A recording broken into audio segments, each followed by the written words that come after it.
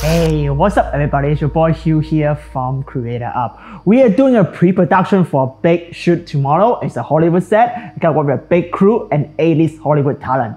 And because the set is so big, I actually spent like $600 to buy the wow. Sekonic light meter. It's the most professional light meter that the DP, most of DP, 2 DP will use.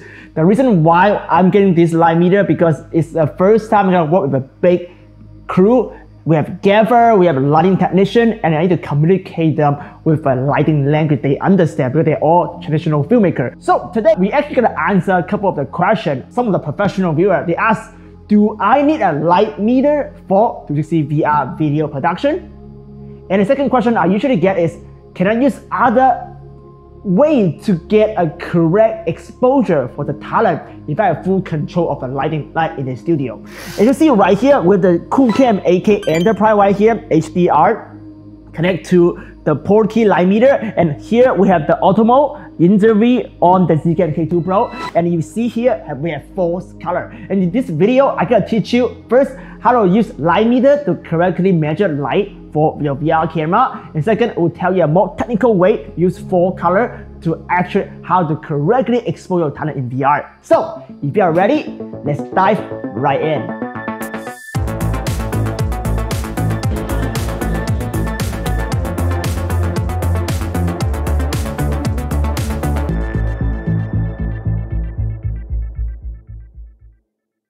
So I kind of already talked about the light meter. The question is like, do you really need a light meter for to see VR camera? It depends. Light meter, you will need that when out of film school and you try to film on actual film.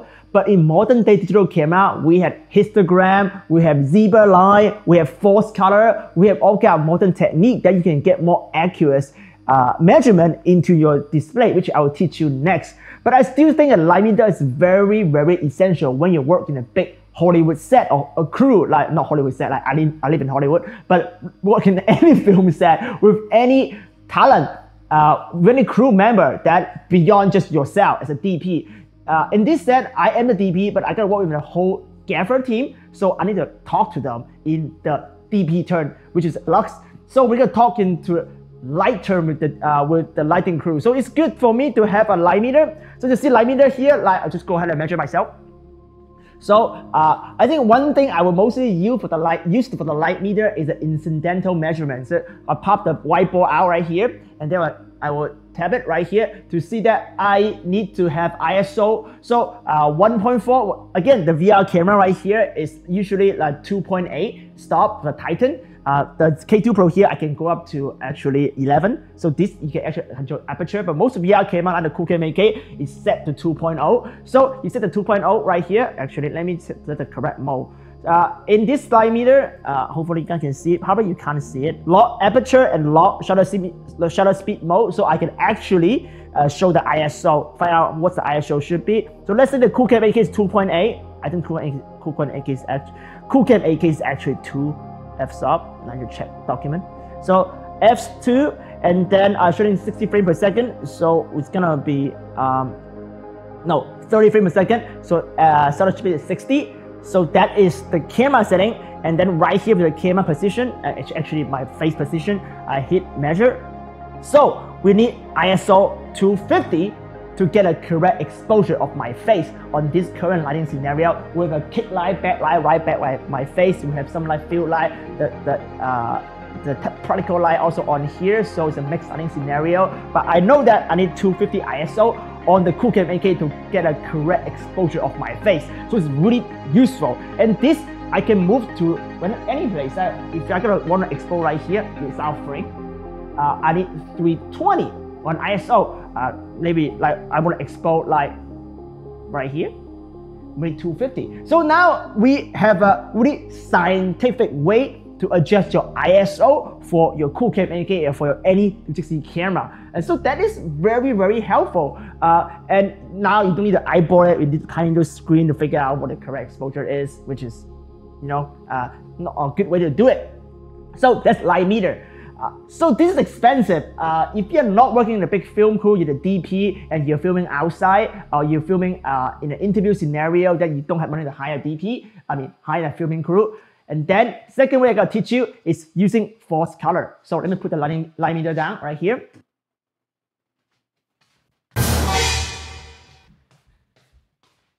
Okay, get out, kitty. Get out, get out.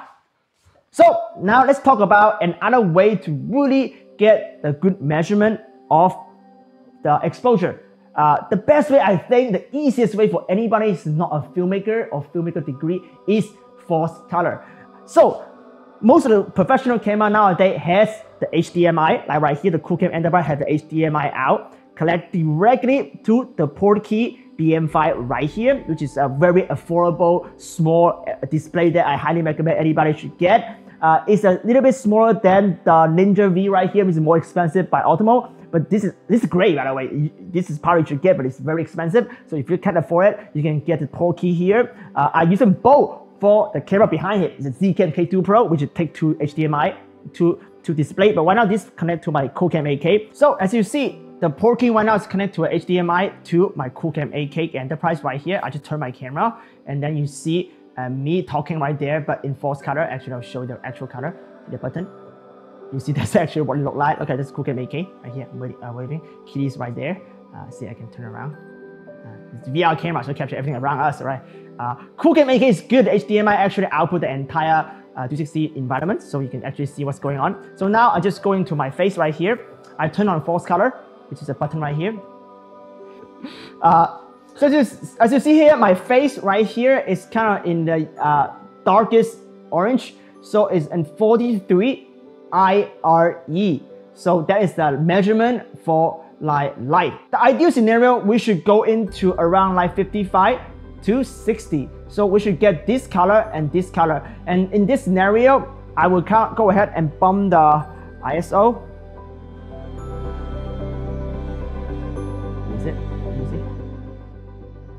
keep going.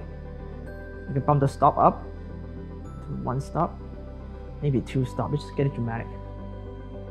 So hopefully you see it right now. Now, as you see, my face is going to this or this green color. This is great. We want to keep it around 50 to 55, under 60 IRE, and that's correctly exposed skin tone. So that's how you can adjust the Qoocam 8K to get the correct exposure. I'll turn this thing off.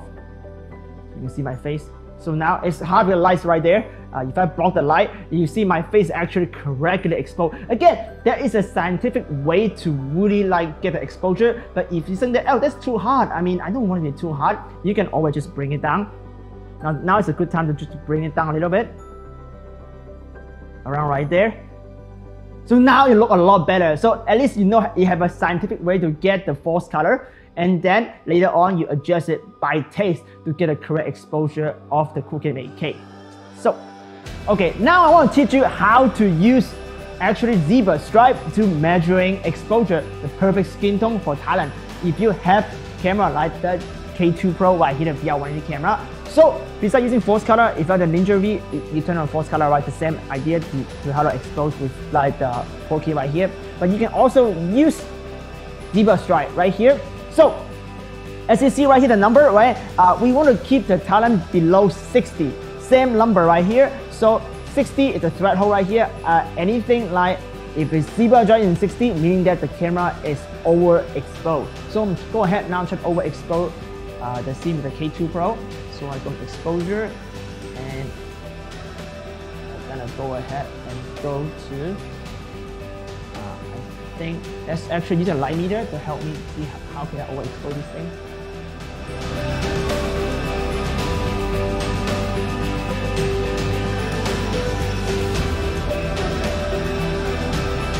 Okay, 5000 is good. Uh, actually, 5000 is like right around the line and Kitty's face is kind of getting exposed there already.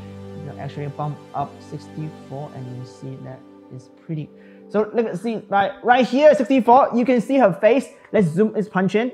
So you can see her face right there, a hand. Like you can see like her hand and her teeth is getting a little bit exposed. And that is good. And that means that this is the correct ISO for this scene. But this is really dark, right? So it's dark scene, uh, so we're not light. So we have to go to 6400 for the correct expo of Kitty. Again, this is a good, this it's okay. This is a K2 Pro. Zcam K2 Pro is a really big sensor camera. It's a cinema VR camera, so we can go to high ISO, still fine. And that's how you get a correct exposure of Kitty. And that's how you use zebra stripe instead of instead of false color to expose. And then is another way. If you the Ninja V, uh, you can use that. Well, thank you for watching this very brief ex explanation of how to use a light meter in VR 360 production and also how to use false color to get a correct exposure of your talent, especially for their skin tone. So I haven't talked about how to correctly expose the camera behind me, which is the Zcam K2 Pro. We'll teach you guys how to correctly expose uh, scene in different lighting scenario from professional film set with the Zcam K2 Pro for VR 180 and also I will teach you how to use a Titan. Titan also have the HDMI out, also the Insta360 Pro 2 also have HDMI out to teach you how to actually using the same technique, false color, zebra stripe, and also light meter uh, to get a correct expose for your talent on set uh, in the studio or outside environment. It's a lot to cover in this course, so go check it out. It's the VR Filmmaking Masterclass. The VR 180 session is coming in. It's not there yet, but it will be coming with the entire chapter of everything about VR 180 with the Zcam K1 Pro or K2 Pro. And I will see you guys next time.